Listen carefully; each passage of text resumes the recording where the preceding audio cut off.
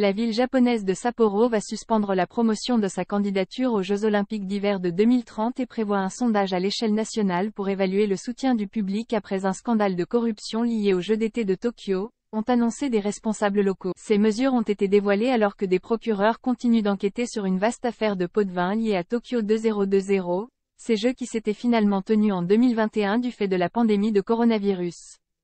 À la lumière de l'affaire concernant les Jeux olympiques de Tokyo, il a été déterminé que nous devons concevoir des jeux propres, a déclaré à l'AFP Akifumi Kudo, un responsable local travaillant sur la candidature de Sapporo, au nord du Japon. Sapporo était considérée comme favorite pour accueillir des Jeux d'hiver pour la deuxième fois, devant les villes rivales de Salt Lake City aux États-Unis et Vancouver au Canada, mais le scandale de corruption à Tokyo a assombri cette candidature. Le maire de Sapporo, Katsuhiro Akimoto, a déclaré mardi que la ville avait besoin de temps pour élaborer des mesures robustes de lutte contre la corruption afin d'obtenir le soutien du public. Plutôt que de courir vers l'objectif et de fermer les yeux sur notre environnement, nous avons conclu que notre priorité devait être de dissiper les inquiétudes ou les doutes du public, a-t-il déclaré aux journalistes.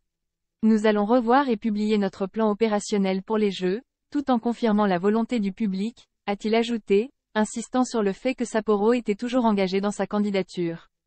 La ville espère finaliser un nouveau plan pour les Jeux au printemps, puis organiser un sondage national afin de mesurer le soutien du public, a déclaré M. Kudo. Début décembre, le gouverneur d'Hokkaido, l'île septentrionale où se trouve Sapporo, avait prévenu que la candidature olympique était devenue problématique.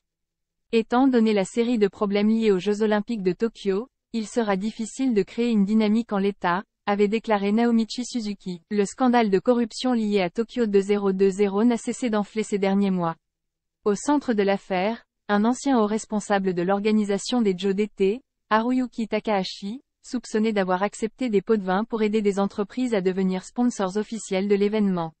Le scandale a également éclaboussé la société ayant produit les mascottes des Jeux, une chaîne de magasins de costumes d'affaires, une maison d'édition et une agence publicitaire et l'ex-premier premier ministre Yoshiro Mori, qui a démissionné de son poste de président de Tokyo 2020 après avoir tenu des propos sexistes, s'était dit prêt en septembre à être interrogé par les procureurs.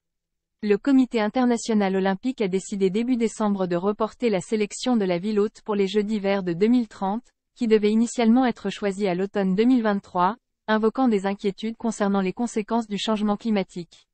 AFP ici Beyrouth 21 décembre, 2022.